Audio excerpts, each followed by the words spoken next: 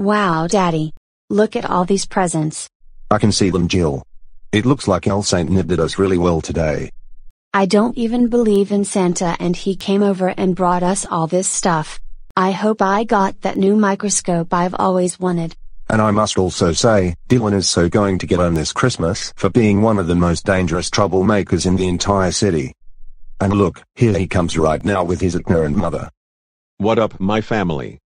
The best day of the year is finally upon us. It's absolutely great how we're all here as a family. I believe that there is our present for the two of you combined. Well Dylan, let us open up our present together.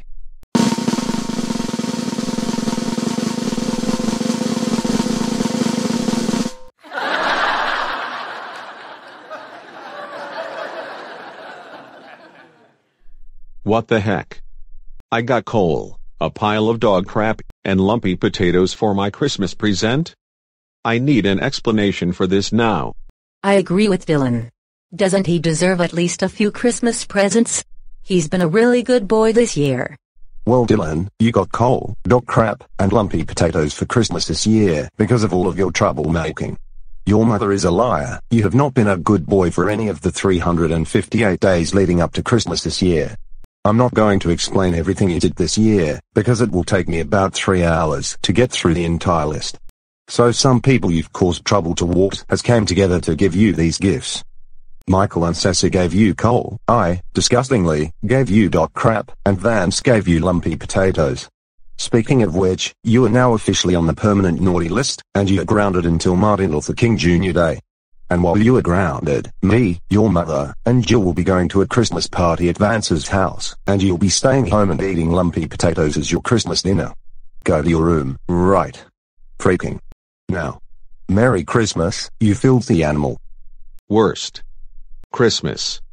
Ever.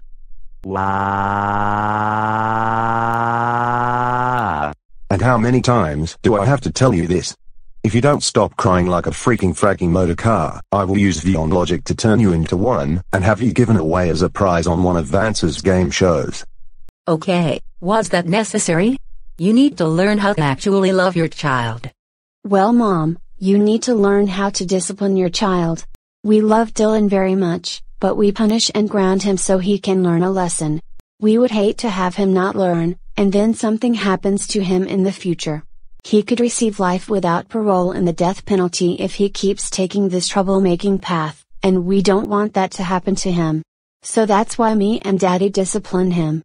I mean, I kind of understand. I would hate to see Dylan like that in his future, but I don't want to punish and ground my little baby. He's an absolute joy in my life, just like the two of you. Well, you do realize because of your lack of discipline, some of those presents are for you too. And you know what, you are grounded too. You'll be eating lumpy potatoes for dinner tonight. Just go to your room while Jill and I get ready for the party. Do you want to become a motor car as well? Then I suggest you stop crying like one. Gee, this family can be so hard to live with sometimes. Well, Merry Christmas all of you viewers.